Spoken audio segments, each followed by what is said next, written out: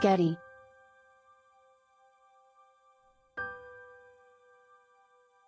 Black Panther star Letitia Wright says she was just trying to raise her concerns about a potential coronavirus vaccine by sharing a video made by a vaccine skeptic, but she raised a major controversy instead.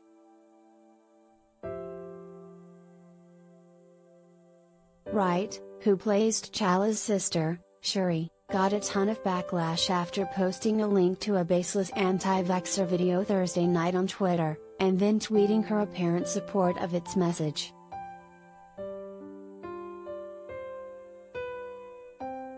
In the vid, the presenter questions the safety and efficacy of vaccines in general, and gives fact-free opinions on what's possibly in the COVID-19 vaccine and why it could be dangerous. Letitia included the prayer hands emoji with her post. Soon afterward, she began engaging angry Twitter users who called her out for spreading misinformation, and explaining it away by claiming she was just asking questions.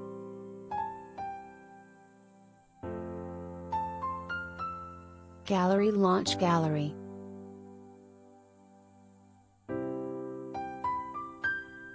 Letitia's anti-vaccine tweets launch Gallery Gallery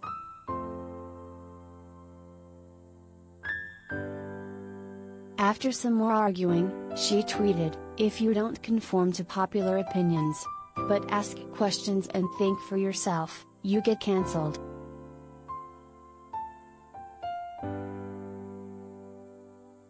Don Cheadle, a fellow MCU star, got involved in the online war of words because angry fans tagged him about Wright's tweets, and after watching parts of the vid she posted, he seemed pretty upset with her himself. He wrote, Jesus. Just scrolled through. Hot garbage. Every time I stopped and listened, he and everything he said sounded crazy and FKKKD up. I would never defend anybody posting this. But I still won't throw her away over it. Wright has since backtracked a little from the message in the anti-vaxxer vid, and tweeted a half apology Friday morning.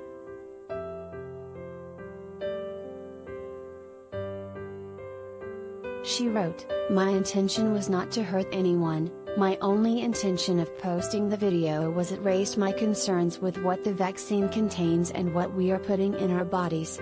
Nothing else.